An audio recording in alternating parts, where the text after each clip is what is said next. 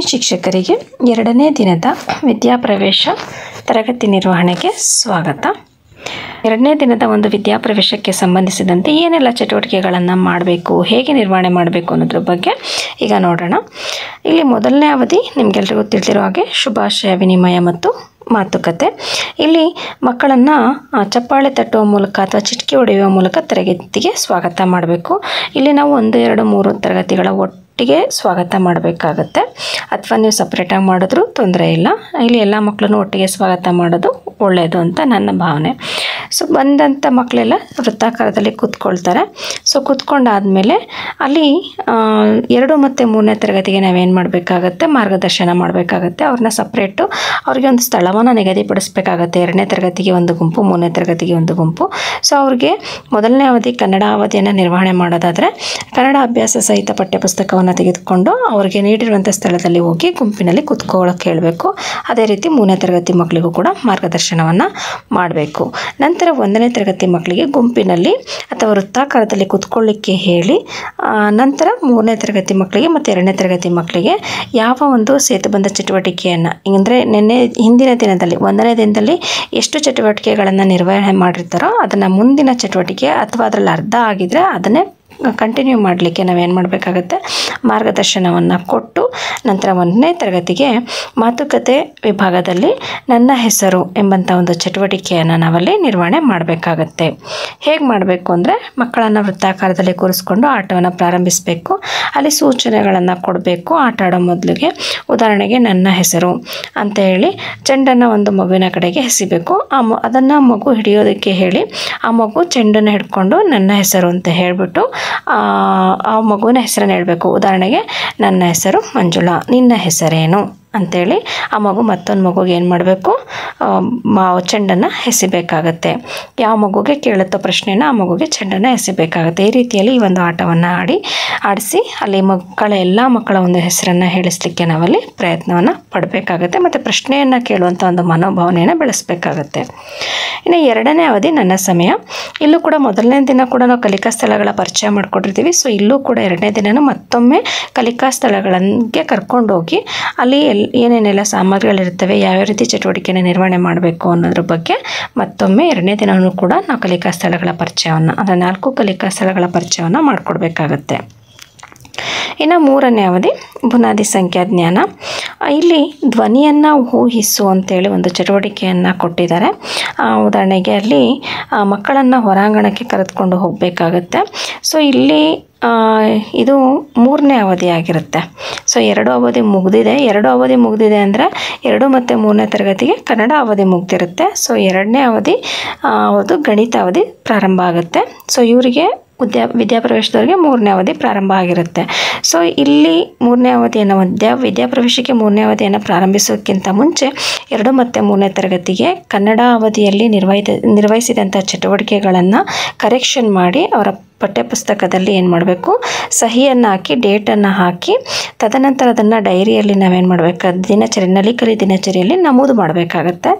ಆನಂತರ ನಂತರ ಮಕ್ಕಳಿಗೆ ಆ ಪಠ್ಯಪುಸ್ತಕಗಳನ್ನು ತೆಗೆದಿಟ್ಟು ಗಣಿತಕ್ಕೆ ಗಣಿತಾಭ್ಯಾಸ ಪುಸ್ತಕವನ್ನು ನಾವಲ್ಲಿ ತೆಗೆಸಿ ಅವರಿಗೆ ಮಾರ್ಗದರ್ಶನವನ್ನು ಕೊಟ್ಟು ಗಣಿತದಕ್ಕೆ ಸಂಬಂಧಪಟ್ಟಂತೆ ಸೇತುಬಂಧ ಚಟುವಟಿಕೆಯನ್ನು ನಿರ್ವಹಿಸೋದಕ್ಕೆ ಹೇಳಿ, ತದನಂತರ ನಾವಿಲ್ಲಿ ಏನು ಮಾಡಬೇಕಾಗತ್ತೆ? ವಿದ್ಯಾಪ್ರವೇಶದ ಒಂದನೇ ತರಗತಿ ಮಕ್ಕಳಿಗೆ ಪುನಾದಿ ಸಂಖ್ಯಾ ಜ್ಞಾನದ ಒಂದು ಅವಧಿಯನ್ನು ಸ್ಟಾರ್ಟ್ ಮಾಡ್ಕೋಬೇಕಾಗತ್ತೆ. ಸೊ ಅದರಲ್ಲಿ ಹೇಳ್ದಾಗೆ ಧ್ವನಿಯನ್ನು ಊಹಿಸು ಎಂಬಂಥ ಒಂದು ಚಟುವಟಿಕೆಯನ್ನು ನಿರ್ವಹಿಸಬೇಕು. ಆ, ಸಮಯದಲ್ಲಿ ಎರಡು ಮತ್ತು ಮೂರನೇ ತರಗತಿ ಮಕ್ಕಳಿಗೆ ಮಾರ್ಗದರ್ಶನ ಕೊಟ್ಟಿರ್ತೀವಿ. ಅವರು ಕೆಲಸವನ್ನು ಮಾಡ್ತಾರೆ ಗಣಿತ ವಿಷಯಕ್ಕೆ ಸಂಬಂಧಪಟ್ಟಂತೆ ಚಟುವಟಿಕೆ ನಿರ್ವಹಿಸ್ತಾ ಇರ್ತಾರೆ. ಆ ಸಂದರ್ಭದಲ್ಲಿ ನಾವು ಒಂದನೇ ತರಗತಿ ಮಕ್ಕಳನ್ನು ಹೊರಾಂಗಣಕ್ಕೆ ಕರ್ಕೊಂಡು ಹೋಗಬೇಕಾಗತ್ತೆ. ಅಲ್ಲಿ ವಿವಿಧ ರೀತಿಯ ಸಾಧನ ಅಥವಾ ವಾದ್ಯಗಳನ್ನು ನುಡಿಸುವ ಮೂಲಕ ವಿಭಿನ್ನ ಶಬ್ದಗಳನ್ನು ಮಾಡಬೇಕು. ಮಕ್ಕಳು ಕಣ್ಮುಚ್ಕೋಬೇಕು. ಕಣ್ಮುಚ್ಕೊಂಡು ಕೇಳಿಸ್ಕೊಂಡಂಥ ಶಬ್ದವನ್ನು ಗುರುತಿಸೋದಕ್ಕೆ ನಾವು ಪ್ರೋತ್ಸಾಹ ನೀಡಬೇಕಾಗತ್ತೆ. ಸೊ ಈ ರೀತಿಯಲ್ಲಿ ಇದೊಂದು ಚಟುವಟಿಕೆಯನ್ನು ನಿರ್ವಹಣೆ ಮಾಡಬೇಕು. ಇಲ್ಲಿ ಈ ದಿನ ಎರಡನೇ ದಿನ ಯಾವುದೇ ಒಂದು ಬುನಾದಿ ಸಂಖ್ಯಾ ಜ್ಞಾನದಲ್ಲಿ ಯಾವುದೇ ಚಟುವಟಿಕೆ ಹಾಳೆಯನ್ನು ಬಳಕೆ ಮಾಡಿಲ್ಲ. ಇನ್ನು ನಾಲ್ಕನೇ ಅವಧಿ ಸೃಜನಶೀಲ ಕಲೆ. ಈ ಸೃಜನಶೀಲ ಕಲೆಯನ್ನು ಮಾಡಬೇಕಾದ್ರೆ ಮಕ್ಕಳು ಹೊರಾಂಗಣದಿಂದ ಒಳಗಡೆ ಬಂದಿರ್ತಾರೆ. ಸೊ, ಒಳಗಡೆ ಬಂದು ಅವ್ರು ಕೂತ್ಕೊಂಡು ನಾಲ್ಕನೇ ಅವಧಿ ಪ್ರಾರಂಭಕ್ಕೆ ಮುಂಚೆ ಮತ್ತೊಮ್ಮೆ ನಾವು ಮೂರು ಮತ್ತು ನಾ ಎರಡನೇ ತರಗತಿ ಮಕ್ಕಳ ಹತ್ರ ಹೋಗಿ ಅವ್ರು ಯಾವ ಚಟುವಟಿಕೆನ ನಿರ್ವಹಿಸ್ತಾ ಇದ್ದಾರೆ, ಅಲ್ಲೇನಾದರೂ ನಮ್ಮ ಅವಶ್ಯಕತೆ ಇದೆಯಾ ನಾವು ಅಲ್ಲೇನಾದ್ರು ಮಾರ್ಗದರ್ಶನ ಕೊಡಬೇಕಾ ಅನ್ನೋದನ್ನು ಮತ್ತೊಮ್ಮೆ ನಾವು ಗಮನಿಸ್ಕೊಂಡು ಬರಬೇಕಾಗುತ್ತೆ. ಗಮನಿಸ್ಕೊಂಡು ಆ ಮಕ್ಕಳು ಚಟುವಟಿಕೆನ ನಿರ್ವಹಿಸಿದರೆ ಅದಕ್ಕೆ ಪೂರಕವಾಗಿ ಬೇಕಾದ್ರೂ ಚಟುವಟಿಕೆ ಕೊಡ್ಬೋದು. ಅಥವಾ ನೆಕ್ಸ್ಟ್ ಚಟುವಟಿಕೆಯನ್ನು ಕೂಡ ನಿರ್ವಹಣೆ ಮಾಡಲಿಕ್ಕೆ ಸೂಚನೆಯನ್ನು ಕೊಡಬೇಕಾಗತ್ತೆ. ತದನಂತರ ನಾಲ್ಕನೇ ಅವಧಿ, ಒಂದನೇ ಪ್ರ, ಒಂದನೇ ತರಗತಿ ಮಕ್ಕಳಿಗೆ ಸೃಜನಶೀಲ ಕಲೆ. ಇದರಲ್ಲಿ ಕಡ್ಡಿ ಚಿತ್ರ ರಚನೆ ಅಂತ ಕೊಟ್ಟಿದ್ದಾರೆ. ಕಡ್ಡಿ ಚಿತ್ರ ರಚನೆ ಅಂದರೆ ನೀವು ಹಂಚಿ ಕಡ್ಡಿ ಬಳಸ್ಕೋಬೋದು ಅಥವಾ ಬೇರೆ ಇದು ಸ್ಟಿಕ್ಗಳು ಬರ್ತಾವಲ್ಲ ಆ ರೀತಿ. ಸಾಮಾನ್ಯವಾಗಿ ಇದಕ್ಕೆ ಹಂಚಿ ಕಡ್ಡಿ ಅಥವಾ ಬೆಂಕಿ ಕಡ್ಡಿಯನ್ನು ಬಳಸ್ಕೊಂಡ್ರೂ ಕೂಡ ಒಳ್ಳೆಯದು ಸೊ, ಆ ಬೆಂಕಿ ಕಡ್ಡಿಗಳನ್ನು ಬಳಸ್ಕೊಂಡು ಮನೆ, ಮನೆಯನ್ನು ಕಟ್ಟೋದು, ಅಂದರೆ ಮನೆ ಚಿತ್ರವನ್ನು ಬಿಡಿಸಿ ಅದರ ಮೇಲೆ ಬೆಂಕಿ ಕಡ್ಡಿಗಳನ್ನ ಜೋಡಿಸ್ತಾ ಹೋಗೋದು, ಅಥವಾ ಮರದ ಚಿತ್ರ ಮಾಡೋದು, ಅಥವಾ ಮನುಷ್ಯ ಚಿತ್ರವನ್ನು ಕಡ್ಡಿ ಗೊಂಬೆಗಳು ಬರುತ್ತಲ್ಲ, ಆ ರೀತಿಯಲ್ಲಿ ಮನುಷ್ಯ ಚಿತ್ರಗಳನ್ನು ಫೆವಿಕಲ್ನ ಬಳಸಿ ಅಂಟಿಸ್ ಅಂದರೆ ನಾವು ಚಿತ್ರವನ್ನು ಬಿಡಿಸ್ಕೊಟ್ರೆ ಅದ್ರ ಮೇಲೆ, ಆ ಗೆರೆಗಳ ಮೇಲೆ, ಆ ಮಕ್ಕಳು ಕಡ್ಡಿಗಳನ್ನ ಜೋಡಿಸೋ ರೀತಿಯಲ್ಲಿ ನಾವು ಚಟುವಟಿಕೆನ ನಿರ್ವಹಣೆ ಮಾಡಬೇಕಾಗತ್ತೆ. ಇಲ್ಲೂ ಕೂಡ ಯಾವುದೇ ಒಂದು ಎಚ್ ಡಬ್ಲ್ಯೂಗೆ ಸಂಬಂಧಪಟ್ಟಂತೆ ಯಾವುದೇ ಹಾಳೆಯನ್ನು ಎರಡನೇ ದಿನ ಬಳಸಿಲ್ಲ. ಇನ್ನು ಅದನ್ನು ಅದಾದ ನಂತರ ಅಲ್ಲಿಗೆ ವಿದ್ಯಾಪ್ರವೇಶದ ನಾಲ್ಕು ಅವಧಿಗಳು ಮುಗಿಯುತ್ತೆ. ಹಾಗೆ ಲೀಕಲಿಯ ಎರಡು ಅವಧಿಗಳು ಕನ್ನಡ ಮತ್ತು ಗಣಿತ ಅವಧಿಗಳು ಮುಗಿಯುತ್ತೆ. ಸೊ ಇಲ್ಲಿ ಮಧ್ಯಾಹ್ನದ ಒಂದು ಊಟದ ವಿರಾಮ ಇರುತ್ತೆ. ಸೊ ಅದಕ್ಕೆ ಹೋಗುವಂಥ ಮುನ್, ಮೊದಲಿಗೆ ನಾವೆರಡು ಮತ್ತು ಮೂರನೇ ತರಗತಿ ಮಕ್ಕಳು ಗಣಿತ ಸೇತುಬಂಧಕ್ಕೆ ಸಂಬಂಧಪಟ್ಟಂತೆ ಎಷ್ಟು ಚಟುವಟಿಕೆಗಳನ್ನು ನಿರ್ವಹಣೆ ಮಾಡಿರ್ತಾರೋ ಅದನ್ನು ಕರೆಕ್ಷನ್ ಮಾಡಬೇಕು. ಕರೆಕ್ಷನ್ ಆದಮೇಲೆ ಅದನ್ನು ದಿನಚರಿಯಲ್ಲಿ ಬರ್ಕೋಬೇಕು. ಅದಾದ ನಂತರ ಪಠ್ಯಪುಸ್ತಕಗಳನ್ನು ತೆಗೆಸಿಟ್ಟು ವಿರಾಮ, ಭೋಜನ ವಿರಾಮಕ್ಕೆ ಕಳಿಸ್ಬೇಕಾಗತ್ತೆ. ಇನ್ನು ಊಟದ ವಿರಾಮದ ನಂತರ ಐದನೇ ಅವಧಿ ವಿದ್ಯಾಪ್ರವೇಶದಲ್ಲಿ ಭಾಷಾಭಿವೃದ್ಧಿ. ಅದೇ ರೀತಿ ಮೂರನೇ ತರಗತಿ, ಎರಡು ಮತ್ತು ಮೂರನೇ ತರಗತಿಗೆ ನೀವು ಇಂಗ್ಲೀಷ್ ಅಥವಾ ಪರಿಸರ ಅಧ್ಯಯನ ಅಥವಾ ಏನು ಒಂದು ಎರಡು ಮತ್ತು ಒಂದು ಎರಡಕ್ಕೆ ಈಗ ಆರೋಗ್ಯ ಪರಿಸರ ಅಂತ ಆಗಿದೆ. ಸೊ ಎರಡನೇ ತರಗತಿಗೆ ಆರೋಗ್ಯ ಪರಿಸರದ ಅವಧಿ, ಮೂರನೇ ತರಗತಿಗೆ ಪರಿಸರ ಅಧ್ಯ ಅಧ್ಯಯನದ ಅವಧಿ ಇರುತ್ತೆ. ಸೊ ಅದಕ್ಕೆ ಸಂಬಂಧಿಸಿದಂತೆ ನೀವು ಇಂಗ್ಲೀಷ್ನ ಮಾಡ್ಕೊಳ್ಳೋದಾದರೆ ಇಂಗ್ಲೀಷ್ಗೆ ಸಂಬಂಧಪಟ್ಟಂತೆ ಮೊದಲಿಗೆ ಆರ್ ಡಬ್ಲ್ಯೂ ಚಟುವಟಿಕೆಗಳನ್ನು ಮಾಡಿಸ್ಬೇಕಾಗತ್ತೆ ಎರಡು ಮತ್ತು ಮೂರನೇ ತರಗತಿಗೆ. ಅಲ್ಲಿ ಬ್ರಿಡ್ಜ್ ಕೋರ್ಸ್ಗೆ ಸಂಬಂಧಪಟ್ಟಂತೆ ಯಾವ್ಯಾವ ಕಾರ್ಡ್ಗಳನ್ನು ನಿರ್ವಹಣೆ ಮಾಡಬೇಕು ಆರ್ ಡಬ್ಲ್ಯೂದಲ್ಲಿ ಅಂತ ಕೊಟ್ಟಿದ್ದಾರೆ. ಅಲ್ಲಿ ಹಿಂದಿನ ದಿನ ಯಾವ ಕಾರ್ಡನ್ನು, ಉದಾಹರಣೆಗೆ ನಲವತ್ತೆರಡು ನಲವತ್ತ್ಮೂರನೇ ಕಾರ್ಡನ್ನು ನಿರ್ವಹಣೆ ಮಾಡಬೇಕಿರುತ್ತೆ. ಸೊ ಹಿಂದಿನ ದಿನ ನಲವತ್ತೆರಡು ನಲವತ್ತ್ಮೂರನೇ ಕಾರ್ಡನ್ನು ಎರಡನೇ ತರಗತಿ ಮಕ್ಕಳು ಕಲ್ತಿದ್ರೆ ಅವ್ರಿಗೆ ನಲವತ್ತ್ಮೂರನೇ ಕಾರ್ಡು ಅಥವಾ ನಲವತ್ತ್ನಾಲ್ಕನೇ ಕಾರ್ಡನ್ನು ನಾವೇನು ಮಾಡಬೇಕು? ಎಕ್ಸ್ಪ್ಲೇನ್ ಮಾಡಿ ಅಲ್ಲಿ ಯಾವ ರೀತಿ ಚಟುವಟಿಕೆ ನಿರ್ವಹಣೆ ಮಾಡಬೇಕು ಅಂತ ಹೇಳಿ, ತದನಂತ ಅವ್ರಿಗೆ ಬರೆಯೋದಕ್ಕೆ ಒಂದು ಕೆಲಸವನ್ನು ಕೊಟ್ಟು, ತದನಂತರ ಮೂರನೇ ತರಗತಿ ಮಕ್ಕಳಿಗೂ ಕೂಡ ಅಲ್ಲಿ ನಿರ್ವಹಣೆ ಮಾಡಬೇಕಾಗಿರುವಂಥ ಕಾರ್ಡ್ ಅಥವಾ ಹಿಂದಿನ ದಿನ ಎಷ್ಟು ಕಾರ್ಡ್ ಕಲ್ತಿರ್ತಾರೋ ಅದರ ಮುಂದಿನ ಕಾರ್ಡನ್ನು ಕೂಡ ಅಥವಾ ಅದರಲ್ಲಿ ಹಿಂದಿನ ದಿನ ಅರ್ಧ ಆಗಿದ್ದರೆ ಅದನ್ನೇ ಕೂಡ ಕಂಟಿನ್ಯೂ ಮಾಡಲಿಕ್ಕೆ ಹೇಳಿ ಅವರಿಗೆ ಬರವಣಿಗೆಗೆ ಅವಕಾಶವನ್ನು ಕೊಟ್ಟು ನಾವು ವಿದ್ಯಾಪ್ರವೇಶದ ಒಂದನೇ ತರಗತಿ ಮಕ್ಕಳ ಹತ್ರ ಬಂದು ಅಲ್ಲಿ ಭಾಷಾಭಿವೃದ್ಧಿಗೆ ಸಂಬಂಧಪಟ್ಟಂತೆ ಮೊದಲನೇ ಒಂದು ಕ್ಷೇತ್ರ ಆಲಿಸುವುದು ಮತ್ತು ಮಾತನಾಡುವುದು. ಈ ಒಂದು ಕ್ಷೇತ್ರದಲ್ಲಿ ಆ ಒಂದು ಚಟುವಟಿಕೆ ಹೆಸರಿನ ಆರಂಭಿಕ ಅಕ್ಷರದಿಂದ ವಸ್ತುವನ್ನು ಪತ್ತೆ ಹಚ್ಚುವುದು ಅಂತ ಕೊಟ್ಟಿದ್ದಾರೆ. ಸೊ ಇದರ ಒಂದು, ಇದಕ್ಕೆ ಸಂಬಂಧಪಟ್ಟಂಥ ಒಂದು ಚಟುವಟಿಕೆಯನ್ನು ನಿರ್ವಹಿಸಬೇಕು. ಏನು ಅಂದರೆ ಸುಳಿವುಗಳ ಮೂಲಕ ತರಗತಿ ಕೋಣೆಯಲ್ಲಿನ ವಸ್ತುವಿನ ಹೆಸರನ್ನು ಊಹಿಸೋದು. ಹೇಳುವ ಚಟುವಟಿಕೆಯನ್ನು ಆಯೋಜಿಸಿ, ಉದಾಹರಣೆಗೆ, ಶಿಕ್ಷಕರು ನನ್ನ ಮನಸ್ಸಿನಲ್ಲಿರುವ ವಸ್ತು ಕಪ್ಪು ಬಣ್ಣವನ್ನು ಹೊಂದಿದೆ. ಅದರ ಹೆಸರು ಕ ಅಕ್ಷರದಿಂದ ಪ್ರಾರಂಭವಾಗುತ್ತದೆ. ಅಂತ ಹೇಳಿದಾಗ ಮಕ್ಕಳು ಹೇಳ್ತಾರೆ, ಸ್ಕೂಲ್, ಅದು ಶಾಲೆ ಒಳಗಡೆನೇ ಇದೆ ಅಂತ ಈ ರೀತಿ ಕ್ಲೂ ಕೊಡಬೇಕು.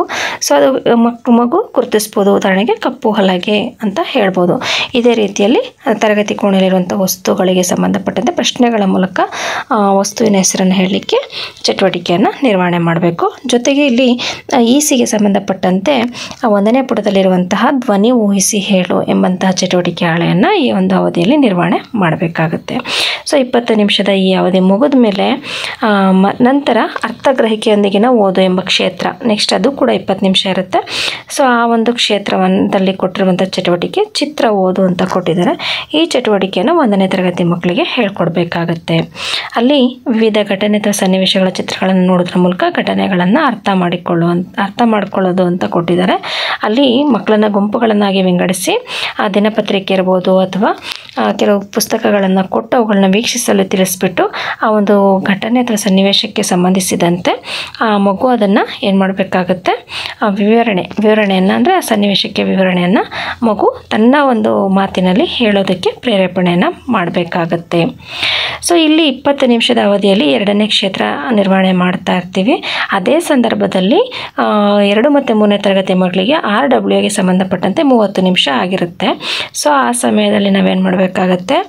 ಎಲ್ ಎಸ್ ನೆಕ್ಸ್ಟ್ ಇಪ್ಪತ್ತು ನಿಮಿಷದಲ್ಲಿ ಎಲ್ ಎಸ್ ತರಗತಿಯನ್ನು ಮಾಡಬೇಕಾಗತ್ತೆ. ಈ ಸರಿ ಅದು ಇಂಗ್ಲೀಷ್ಗೆ ಸಂಬಂಧಪಟ್ಟಂತೆ ಟೈಮಿಂಗ್ಸನ್ನು ಚೇಂಜ್ ಮಾಡಿದ್ದಾರೆ. ಸೊ ಹಾಗಾಗಿ ಅಲ್ಲಿ ಎಲ್ ಎಸ್ಗೆ ಸಂಬಂಧಪಟ್ಟಂಥ ಚಟುವಟಿಕೆಗಳನ್ನು ನಿರ್ವಹಿಸೋದಕ್ಕೆ ನಾವೇನು ಮಾಡಬೇಕು? ಒಂದನೇ ಒಂದನೇ ತರಗತಿ ಮಕ್ಕಳಿಗೆ ಈ ಒಂದು ಸನ್ನಿವೇಶದ ಬಗ್ಗೆ ಮಾತಾಡಲಿಕ್ಕೆ ಸಪ್ರೇಟಾಗಿ ಅವ್ರಿಗೆ ಗುಂಪು ಚಟುವಟಿಕೆಯನ್ನು ಕೊಟ್ಟು ಎರಡು ಮತ್ತು ಮೂರನೇ ತರಗತಿ ಮಕ್ಕಳನ್ನ ಒಟ್ಟಿಗೆ ನಾವೇನು ಮಾಡಬೇಕಾಗತ್ತೆ? ಸಾಮೂಹಿಕವಾಗಿ ಕೂರಿಸ್ಕೊಂಡು ಎಲ್ ಎಸ್ಗೆ ಸಂಬಂಧಪಟ್ಟಂತೆ ಹಿಂದಿನ ದಿನ ನಾವು ಪ್ರೆಸೆಂಟೇಷನ್ ಕಾರ್ಡ್ನ ನಿರ್ವಹಣೆ ಮಾಡಿರ್ತೀವಿ. ಮೊದಲನೇ ದಿನ ಅದರ ಉಳಿದ ಅರ್ಧ ಭಾಗ ಇರ್ಬೋದು ಅಥವಾ ಅದು ಪೂರ್ಣ ಆಗಿದ್ದರೆ ಕಾನ್ವರ್ಸೇಷನ್ಗೆ ಸಂಬಂಧಪಟ್ಟಂತಹ ಚಟುವಟಿಕೆಗಳನ್ನು ಮಾಡ್ಬೋದು. ಪ್ರೆಸೆಂಟೇಷನ್ ಮುಂದುವರಿಸೋ ಹಾಗಿದ್ರೆ ಮುಂದುವರಿಸ್ಬೋದು. ಅಲ್ಲಿ ಅರ್ಧ ಆಗಿದ್ರೆ ಸೊ ಅದು ಕಂಪ್ಲೀಟ್ ಆಗಿದ್ರೆ ಮೊದಲನೇ ದಿನ ಸಾಮಾನ್ಯವಾಗಿ ಕಂಪ್ಲೀಟ್ ಆಗಿರೋದಿಲ್ಲ. ಸೊ ಪ್ರೆಸೆಂಟೇಷನ್ಗೆ ಸಂಬಂಧಪಟ್ಟಂತೆ ಅಲ್ಲಿ ಉಳಿದಿರುವಂಥ ಚಟುವಟಿಕೆಯನ್ನು ನಿರ್ವಹಣೆ ಮಾಡಬೇಕಾಗತ್ತೆ ಇಪ್ಪತ್ತು ನಿಮಿಷಗಳಲ್ಲಿ.